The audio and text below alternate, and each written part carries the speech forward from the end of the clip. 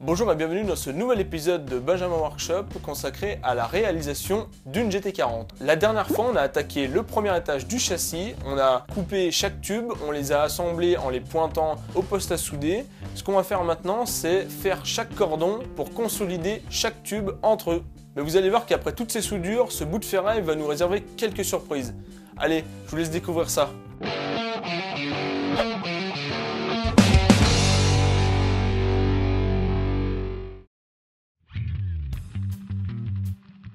Bon là, on sort les watts. 130 ampères sur le poste. On n'oublie pas la pince de... Ah putain. On n'oublie pas la pince de masse. Je disais donc, le poste à souder est réglé sur 130 ampères avec des baguettes de 3 mm. Pour trouver ces réglages, j'ai fait quelques tests sur des chutes de tubes. Il faut que le bain de fusion soit suffisamment profond pour que la soudure pénètre bien. Non, parce que le but c'est aussi de poser son cul dans la voiture. Donc on va essayer de faire ça le plus solide possible. Allez, on a quelques soudures qui nous attendent. C'est parti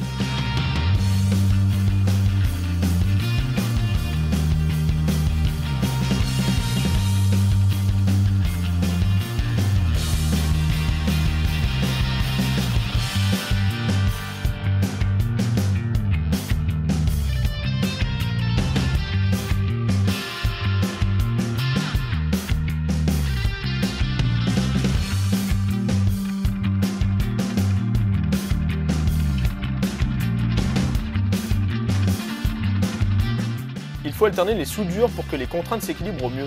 C'est un peu comme le pointage, sauf que c'est carrément plus important puisque le cordon de soudure a tendance à beaucoup plus chauffer qu'un point, donc à plus déformer la structure. Cela m'amène donc à tourner plusieurs fois le châssis.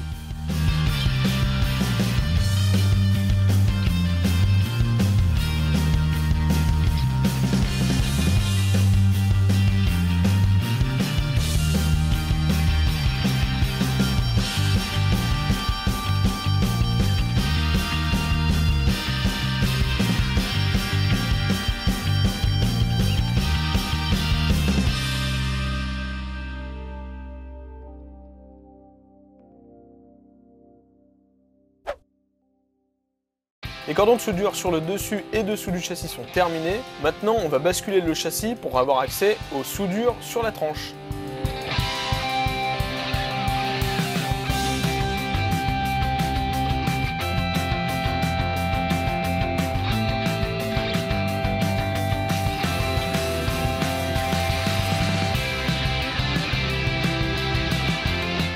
Pour la petite anecdote, rien que ce bout de châssis compte environ 130 cordons de soudure et on commence juste le châssis de la voiture. Hein.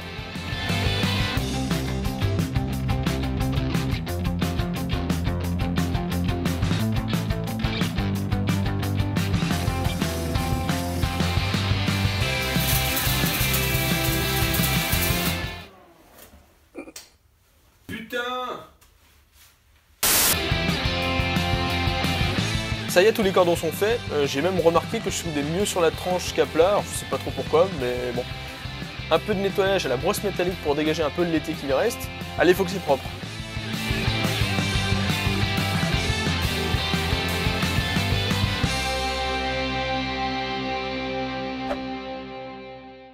On va maintenant procéder à un contrôle de la planéité du châssis. En gros, il faut vérifier si c'est pas tout tordu avec une règle de maçon. Comme prévu, les soudures ont déformé le châssis. C'est tout à fait normal car la chaleur provoquée pendant le bain de fusion fait que le métal se dilate et se rétracte en refroidissant. Dans mon cas, c'est surtout le nez du châssis qui s'est déformé. On va donc le remettre correctement en le déformant à froid. On vérifie si ce qu'on a fait a servi à quelque chose et visiblement ça n'a rien fait du tout. On va taper un petit peu plus fort du coup.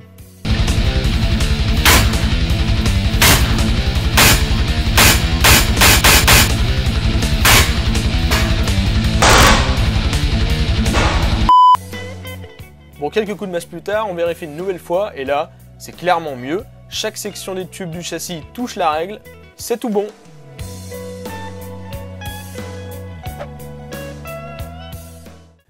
Ça y est, le premier étage du châssis est enfin redressé. Comme vous avez pu le voir, on n'y est pas allé de main morte. On a fait ça un peu à la bourrin, mais c'était nécessaire. Ce qui est important, c'est que ce châssis, enfin ce premier étage du châssis soit très plan pour qu'il euh, puisse accueillir correctement le deuxième châssis. Et c'est ce que je vous propose de découvrir dans la prochaine vidéo. Si tu veux voir la suite du châssis, je t'invite à t'abonner. En tout cas, si tu as aimé la vidéo, n'hésite pas à mettre un pouce bleu et à la partager. Ça m'aide grandement pour être plus visible sur YouTube. En tout cas, moi je te dis à très bientôt dans une prochaine vidéo. Salut